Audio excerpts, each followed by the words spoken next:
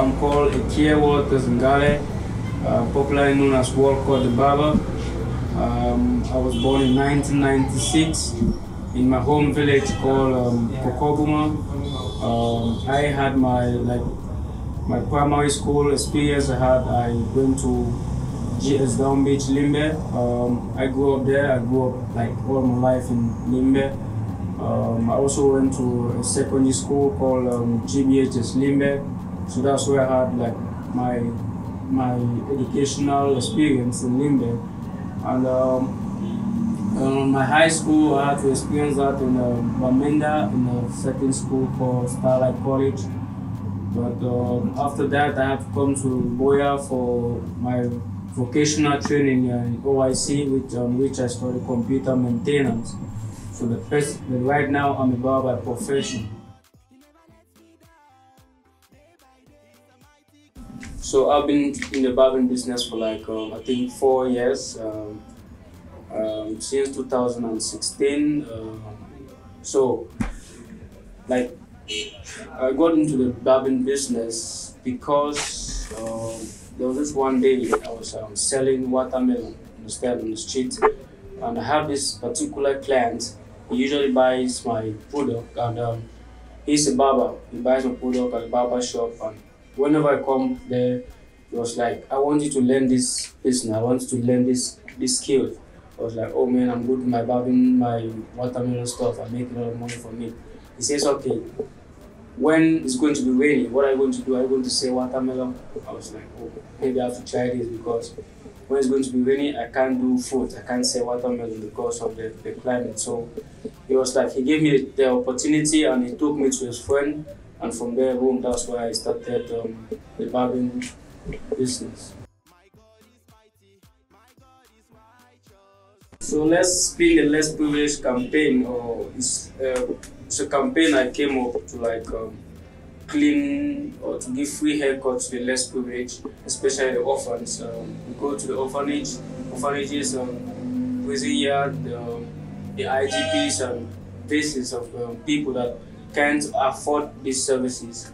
We give the service for them for free.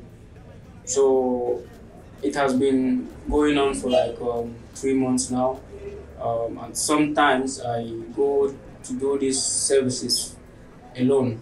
And uh, most often I go with a team, but when I want to go like more um, different, like forward this like um, places that need a lot of finance, I need to go alone because I cannot afford to like take a team. I've been to like um, I've um, visited like um, seven orphanages um, in Buea, Tiko, Limbe, uh, and Yaoundé.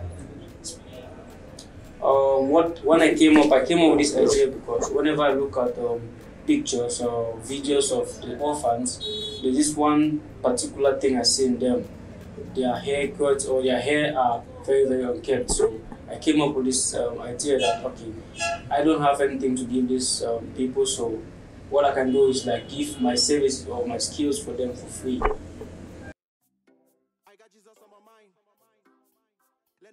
The reaction of the public has been so so so so great. The kids are they were so so happy whenever we go out to like do our campaign. They are so so so happy. The management of the, the various uh, orphanages are so so happy. They're, they like they're so they like call sometimes. I remember when I was in Yaoundé, um, the orphanage I visited um, was it um, I think um, Buea. The, the director of the orphanage had to call me to like tell me to, to like say big thanks to what I did. And um, when I visited an orphanage in Tiko, when we finished doing the job, we were like um, they gave us a hand sanitizer to like um, say thank a big thank to and to like support our movement. They gave us hand sanitizers. When I was in um, Yaoundé, when we finished doing our job, the management of the orphanage wanted to give us a transport fare to like go back.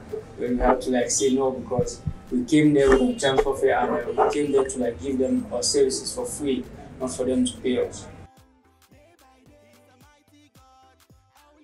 So despite the fact that I'm doing this for free, we're doing this for free, and my, me and my team, we have been facing a lot of challenges because, um, like, as barber, our clippers or the, the, the, tools we use to like give, do these services, uh, sometimes they get bad, and when they get bad, we need to like um, get new ones. And sometimes we can't afford to like pay the transportation fee to like go to like some interior villages.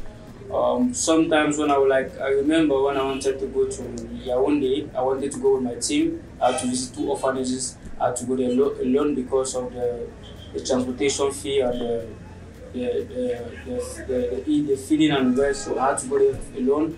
So I visited two orphanages. Um, I had to cut a minimum of 50 kids alone. So it, it's not like it's not easy. So we are, we are facing a little bit of challenges, and um, with the project we have in mind, uh, is going to be it needs a lot, a lot, a lot of support. With these challenges, it is obvious that I can't do this alone. So definitely there will be a need of sponsors, volunteers, and partners to help let's to help these kids. Can we can do this? You can do this financially, materially, and with your skills. Let's come together and put smile on these kids.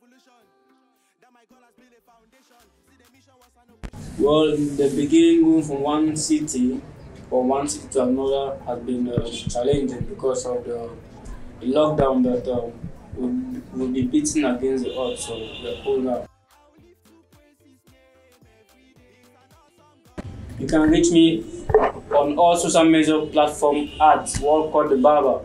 Um, normal calls, text messages, and WhatsApp at plus two three seven six seven three five nine four nine three one. Thanks to iJesus Africa for giving me this opportunity to talk to you guys, and thank you guys for viewing. I'm very very happy to hear from you guys. Ciao.